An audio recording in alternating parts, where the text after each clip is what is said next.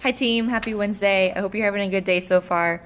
Um, so just building off of what we did yesterday in class, you guys talked about some statements that connect to the book and we're to take a break from the book for a second and you guys are to focus on just an idea associated with the book. So throughout the book, the character is going to be influenced to make different choices um, by people in his life and also the context in which he lives in. Also, very much so, the way other people view him influences the decisions that he makes as well. So, when he is at home and people are constantly showing him or telling him that he's a loser, he makes decisions that further show that he is a loser.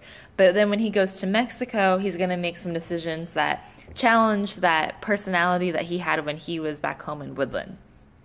Um, and I want you guys to think about the way that your context influences you to make the choices that you do.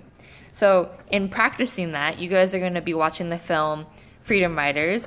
and while you're watching it, you're going to be documenting the choices that the different characters make along the way.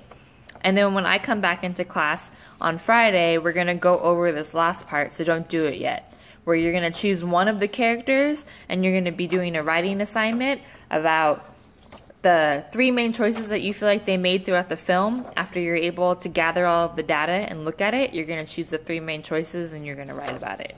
Um, but while you're watching the film, pay attention, jot, jot down the choices on here, jot down the influences that make him or her make that decision or make that choice, um, and also talk about character motivation as well. I'll see you on Friday. I hope you have a good day, and I hope you're nice to the sub. Bye!